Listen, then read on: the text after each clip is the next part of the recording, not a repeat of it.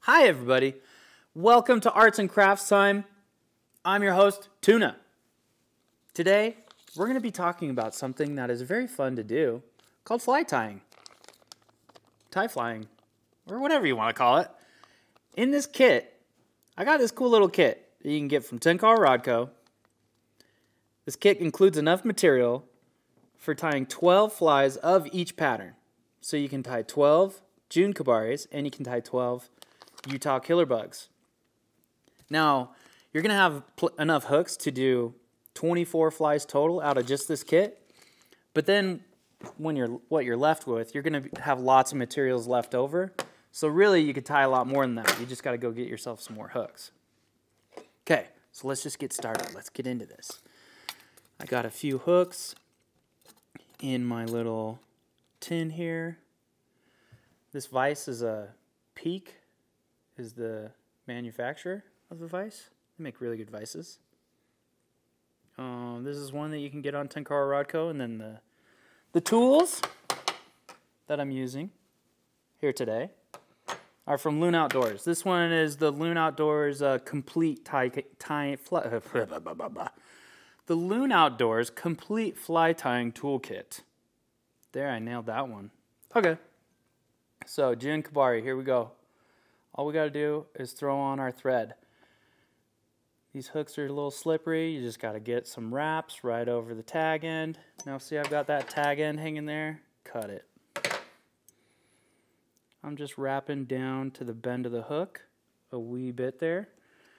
Now I take life cycle dubbing. Dubbing is cool stuff. There's lots of different ways to dub. This one is probably the easiest way to dub right here. Just take your dubbing, just take a little chunk and twist it right on there. Now, sometimes you need to lick your fingers. Lucky for me, I'm a hot dude. Not like hot by looks, you know, but just hot, like I run hot. So I got sweaty hands.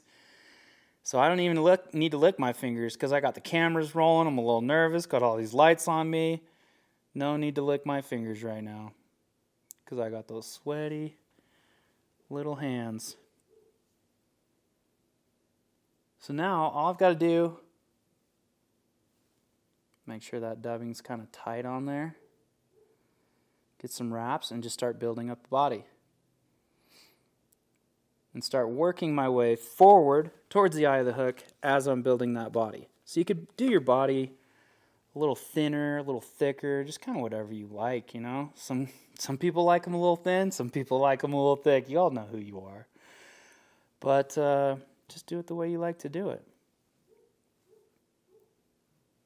So I'll mention right now, like the, there's some cool other ways of doing this dubbing that you could do, use dubbing wax, which is like this wax that you just put on the thread and it helps all this stuff stick really well.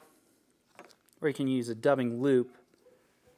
And those are pretty pretty awesome. Uh, if you guys want to see that sometime, let me know. If you, you're like, dude, Tuna, you gotta show me how to do a dubbing loop, man, please. I'll show you. Or you could just YouTube it, find someone else show you. Okay, I'm almost done with my dubbing here. Now, I don't want to crowd the head of this hook. I have a bad habit of doing that. I just, or crowd the eye of the hook.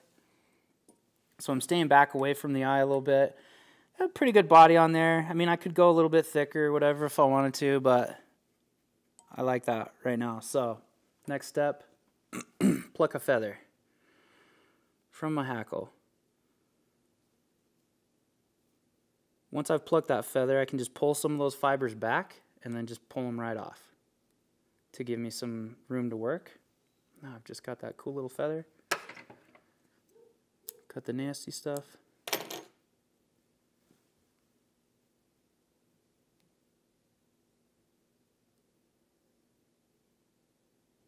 All right, I've just got just got to do a couple wraps on that to get that to stay on there, and then cut that little tag in there. Now that's pretty short, and that's gonna be hard to work with.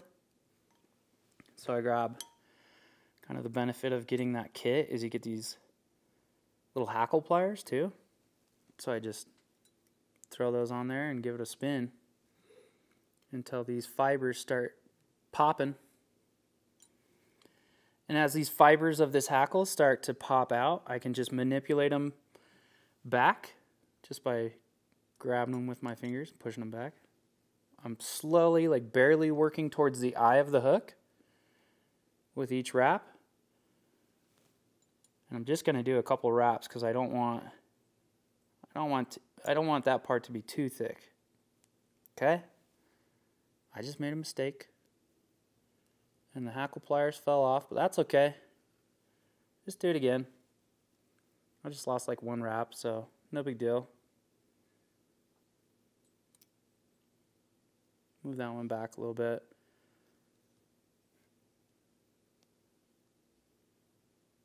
Okay. That one's looking pretty good. Now I just got to get a few wraps to tie off that hackle. Make sure it doesn't pop off.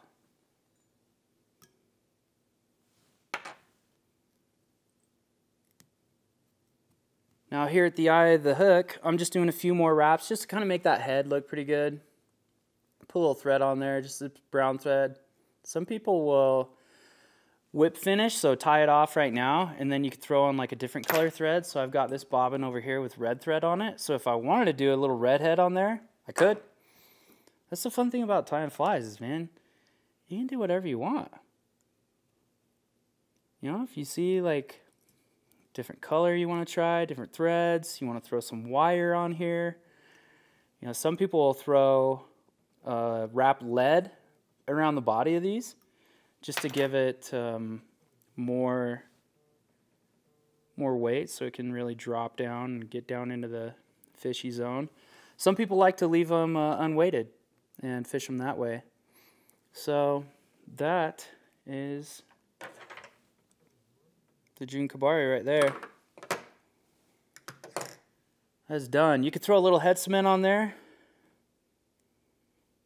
and just make sure that's uh, that will just the head cement will just make sure it's real secure on there. But that's about it. Like I said, you can uh, do different variations of this, add whatever you want to it, different colors and things, and that's about it. Jun Kebari, everybody.